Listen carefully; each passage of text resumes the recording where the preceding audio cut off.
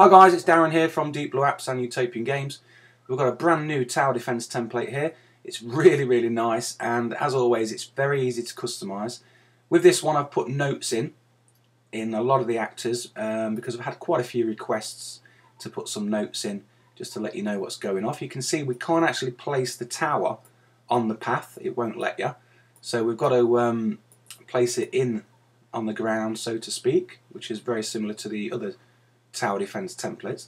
Now you can see here, I'm just going to show you what happens if we die. If one of these enemies gets to the end and gets out the screen, you will actually die and it'll be game over.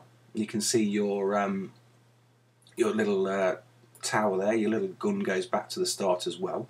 This red thing around it, this is the radius. This is where you will actually be firing. If any enemies come in this radius, then they will actually be shot. Now I'm just going to let it go to wave 2. You need 100 points to get to wave 2. You see I've got a top score because I beat my last score and that's why the white banner at the top uh, was flashing just to let me know that I've beat my last score.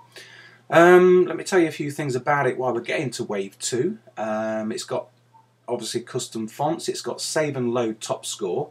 It's very easy to customize this one because we've basically got a start point and a finish point and in between that we've got waypoints um, I've got about four or five set up for this level and you can just basically move those waypoints around so you can have different shaped paths, you can have different levels. You don't have to just have a simple one like this. Um, later on in the video I'll show you a more complex path system that we've got set up.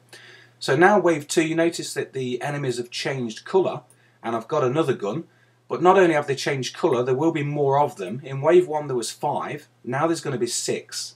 Um, but it will only give you a maximum of six enemies on, on screen at all time, which is really nice. And they now take two hits um, to kill, whereas in wave one they took one hit to kill. I'm just going to try and get to uh, wave three.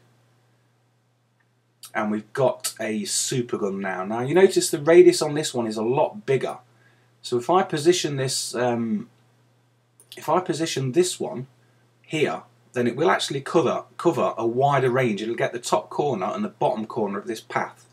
And I'll just show you this one in action because it does actually spin and fire a bit faster than the standard guns. Now we've got a boss. Now this boss takes 50 hit points. This has come on wave 4. Again, you can change this to what you want, but I'm not sure I'm going to be able to kill it 50 times, shoot it 50 times by the time it gets to the bottom. Oh, just managed to do it. Um, but yeah, I've got bosses in there as well. And again, very easy to change when you want the bosses to appear, um, when you want the waves to increase. You can see for testing purposes, I've just got it to every 100. But um, like I've said, you can change that um, to whatever you want. And yeah, really nice template, very easy to understand. I've got notes in all the actors, and we're going to have a special offer on this one again for this weekend. And if you haven't already tried it, check out our Cookie Match 3 type template, which has done really, really well over the last uh, night. So yeah, we've got uh, two new templates in two days, and I hope you have fun with them, guys. And thanks for the support over at deepblueapps.com, and I'll speak to you soon.